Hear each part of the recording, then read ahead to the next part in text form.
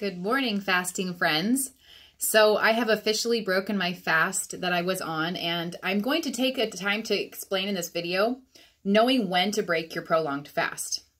So first I want to share my experience so you guys can know kind of what happened when I did mine. So prior to this fast, I have only ever done 48s.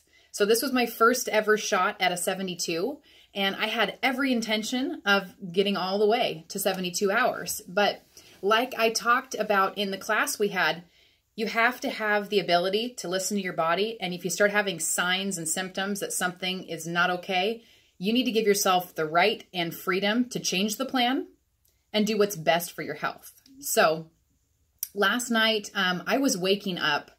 I probably woke up about 10 times, and each time I was having just really bad burning in my stomach, like such severe hunger pains. I'm thinking, I have never been this hungry in my life. And it followed by about 4.30, I woke up and I started feeling really nauseous. I thought, boy, this is not fun. But still at this point, I was not like ready to just get up out of bed at 4.30 a.m. and start eating. So I kept hanging on and then followed the shakes. I started getting shakes pretty bad. And so at that point I thought, okay, I need at least salt. So I got up and I drank my snake juice, just a couple of sips to try to settle things and let everything, you know, get back to normal. But unfortunately, that didn't happen. Um, I ended up having to sprint to the bathroom and I threw up a whole lot. So at that point, I was absolutely certain that my body was absolutely done with this fast and it was time for me to reintroduce food.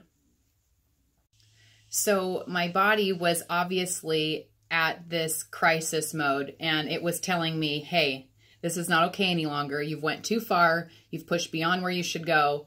And it's very important that you now break your fast. So I went ahead and I followed through. And I began first with bone broth and I sipped on it very slowly. And I waited for over a half an hour after I had had my bone broth to introduce any actual food. And I sat there and I really thought because it's so important to like listen to your body. What are you really craving? And now if your body's craving something that's a junk food, you do not need to listen to that craving. But more than often, if you really get in touch with your body, you're going to realize your body's going to crave something in particular. Well, my body was really strongly craving just plain Greek yogurt. And so um, my son ran over to the store for me and got some this morning. And I have never had a food experience like I had today. I, I took a bite of that yogurt and I closed my eyes and just instantly I had a smile come on my face.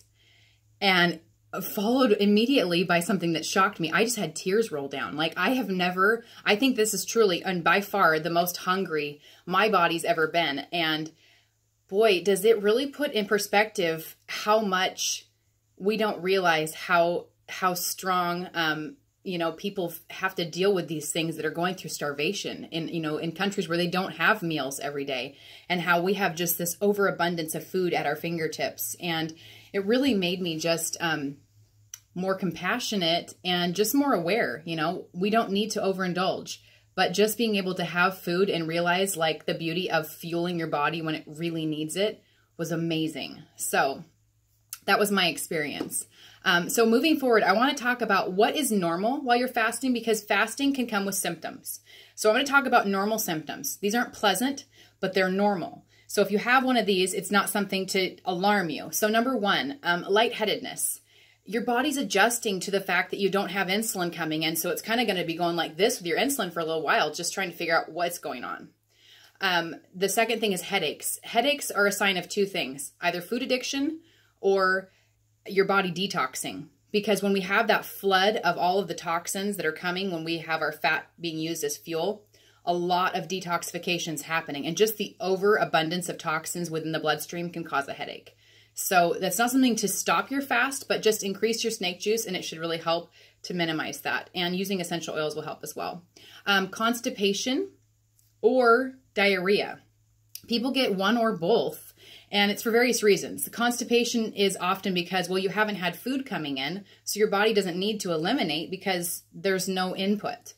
Um, the other reason why people might get diarrhea is, again, that's a detox symptom. So if you're in if you're not yet in ketosis and you get diarrhea, it's because you're detoxing. If you're not in ketosis and you get constipation, it's probably because you're dehydrated a little bit. So up your snake juice. Um, the next one is cramps. So if you get muscle cramps at all, that's a sign of a drop in your potassium or your magnesium. So you want to make sure, again, up your snake juice. And then the last one is irritability and strong emotions. This is very common. And again, this is because we have food addictions. We are so used to having food anytime we want it.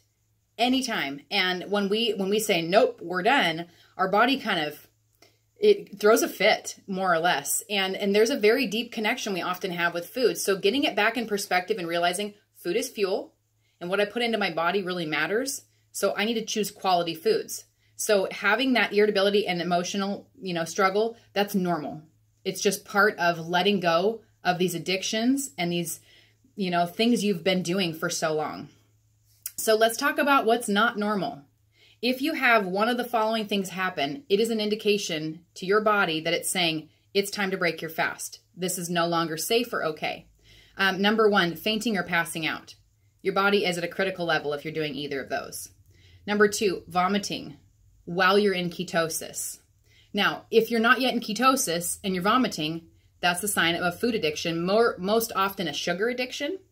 So don't quit your fast if you're vomiting and you're not yet in ketosis. Your body is just full on detoxing. And I realize it's hard, but that's a healing crisis. And you're going to have to walk through that before you can come out on the other side feeling way better.